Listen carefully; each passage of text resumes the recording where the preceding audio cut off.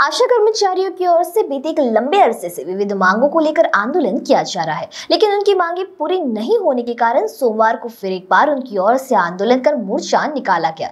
खंडोबा देवस्थान सुभाष रोड से निकले इस मोर्चे में बड़ी संख्या में आशा वर्कर्स मौजूद थी।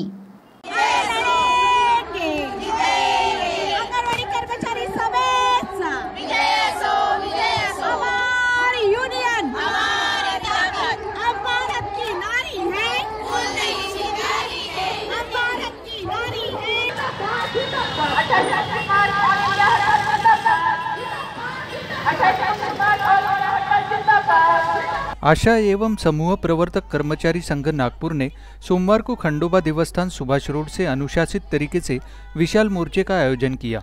राजेंद्र साठे मेशराम और रंजना पौनीकर के नेतृत्व में निकाले गए इस मोर्चे में सैकड़ों आशा और समूह के प्रवर्तक शामिल हुए. इस दरमियान उन्होंने कहा कि आशा और समूहों के प्रवर्तकों को स्वास्थ्य कर्मियों का दर्जा देकर न्यूनतम मजदूरी मिलनी चाहिए। आशा कार्यकर्ताओं और समूह के प्रमोटरों को रुपए का भुगतान किया जाना चाहिए और आशा कार्यकर्ताओं और समूह के प्रमोटरों को 2020 से स्टेशनरी भत्ता नहीं दिया गया है, उसे भी देना चाहिए, ऐसी विविध मांगे उनकी ओर से की गई।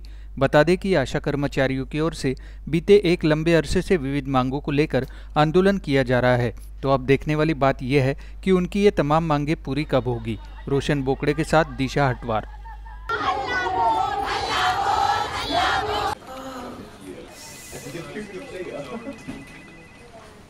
बॉस ने मीटिंग बुलाई। क्या यार? आदमी की तकलीफ़ को तो समझो। बाहर बाहर उठो बैठो उठो बैठो। जनाब तकलीफ़ उठने बैठने की नहीं तकलीफ़ बवासीर की है। बवासीर फिशर, भगंदर, पाइलोनियल साइंस का आयुर्वेद तथा आधुनिक लेजर से उपचार। अभ्युदय पाइल्स लेजर हॉस्पिटल, लोहार समाज भवन के पीछे महापुष्प सोसाइटी, शताब्दी नगर चौक से मनीष नगर रोड, नागपुर। कॉल और विज़िट करें www.pilesfistulacure.com